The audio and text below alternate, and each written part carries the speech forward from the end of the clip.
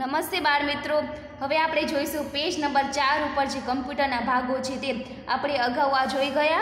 અનાજ દળવાની જે ઘંટીનું ઉદાહરણ હતું તેના દ્વારા જે ઇનપુટ પ્રોસેસિંગ અને સ્ટોરેજ અને આઉટપુટની જે વ્યાખ્યા હતી તે પણ આપણે અહીંયા જોઈ ગયા. ત્યારબાદ છે કમ્પ્યુટરના ભાગો. તો જો શું છે? કમ્પ્યુટર છે ઇનપુટ માટેના જે સાધનો છે પ્રોસેસિંગ યુનિટ અને આઉટપુટ માટેના સાધનોનું બનેલું છે. હવે જે કમ્પ્યુટર કયા સાધનોનું બનેલું છે? તો આ જે ઇનપુટ પ્રોગ્રામ પ્રોસેસિંગ અને આઉટપુટ માટેના સાધનોનું બનેલું છે. અનાજ દળવાની ઘંટીના ઉદાહરણમાં એક નારચામાં જે અનાજ હોય તે ઇનપુટ ઓરવામાં આવે છે. આથી એ નારચાને ઇનપુટ ડિવાઇસ કહે છે. જો હવે અનાજ દળવાની જે ઘંટીનું ઉદાહરણ આપણે જોયું હતું, અહીંયા જે અનાજ છે તે ઓરવામાં આવે છે, તો તેને શું કહેવામાં આવે છે? ઇનપુટ કહેવામાં આવે છે. ઘંટી અનાજ દળીને પ્રોસેસ એટલે કે લોટ તૈયાર કરે છે, આથી દળનારા ભાગને પ્રોસેસિંગ યુનિટ કહેવાય છે. હવે જો આપણે અહીંયા જે ઘઉં નાખીએ છીએ અને તેના ઉપર જે પ્રોસેસ થાય છે, તો તેને શું કહેવામાં આવે છે? પ્રોસેસિંગ અથવા તો પ્રક્રિયા કહેવામાં આવે છે. અને ત્યાર પછી છે અને લોડ જે ભાગમાંથી બહાર આવે છે, એટલે કે આઉટપુટ આવે છે, તે ભાગને આઉટપુટ ડિવાઇસ કહેવામાં આવે છે. હવે જો આપણે આગળ જોયું તે પ્રમાણે, જેવી રીતે આપણે અહીંયા ઘઉં નાખીએ છીએ, તેને ઇનપુટ કહેવામાં આવે છે, પછી અહીંયા જે લોટ તેના ઉપર જે પ્રક્રિયા થાય છે, તેને પ્રોસેસિંગ કરવામાં આવે છે, અને લોટ તૈયાર થઈને બહાર આવે છે, તો તેને શું કહેવાય છે? આઉટપુટ કહેવાય છે.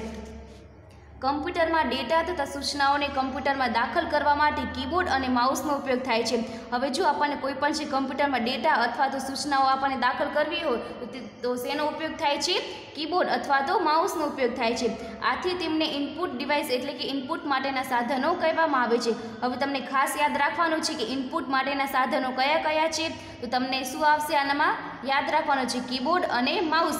અથવા તો એમ પણ પૂછી શકાય કે ઇનપુટ ડિવાઇસ કયા કયા છે તો કીબોર્ડ અને માઉસ. નામ સૂચવે છે તે પ્રમાણે સેન્ટ્રલ પ્રોસેસિંગ યુનિટ એટલે કે સીપીયુ.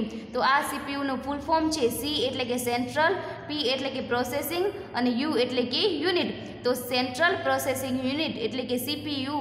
એ પ્રોસેસિંગ યુનિટ છે આપેલી સૂચનાઓ એટલે કે પ્રોગ્રામ પ્રમાણે તે ડેટા એટલે કે ઇનપુટ ઉપર પ્રોસેસ કરે છે. હવે સીપીયુ શું કરે છે? જે આપણે સૂચના તેને આપીએ કમ્પ્યુટરને, તે પ્રમાણે ઇનપુટ ઉપર પ્રોસેસ કરે છે એટલે કે પ્રક્રિયા કરે છે.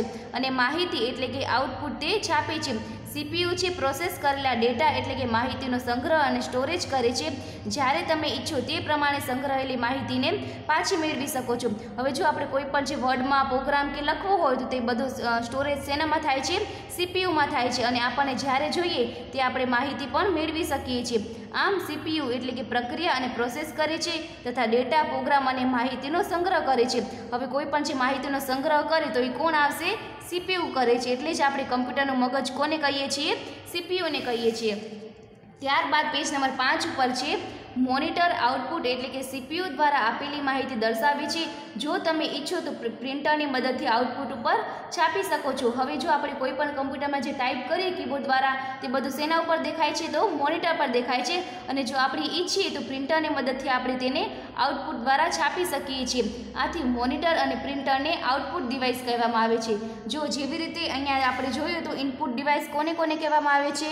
ઇનપુટ ડિવાઇસ તો કીબોર્ડ અને માઉસને એવી રીતે આઉટપુટ ડિવાઇસ માટેના સાધનો કયા આવશે તો મોનિટર અને પ્રિન્ટર આવશે. જો તમને અહીં આપેલું છે ઇનપુટ માટેના સાધનો, તો કયા કયા છે? કીબોર્ડ અને માઉસ પ્રોસેસિંગ યુનિટ એટલે કે સીપીયુ અને આઉટપુટ માટેના સાધનો, તો મોનિટર અને પ્રિન્ટર તમને ખાસ આ બે યાદ રાખવાનું છે. ઇનપુટ માટેના સાધનો, તો કીબોર્ડ અને માઉસ ત્યારબાદ છે આઉટપુટ માટેના સાધનો, તો મોનિટર અને પ્રિન્ટર ત્યારબાદ છે ઇનપુટ ડિવાઇસના જે આપણે સાધનો છે, તેને આપણે પછીના વિડીયોમાં પ્રેક્ટિકલી જોઈશું.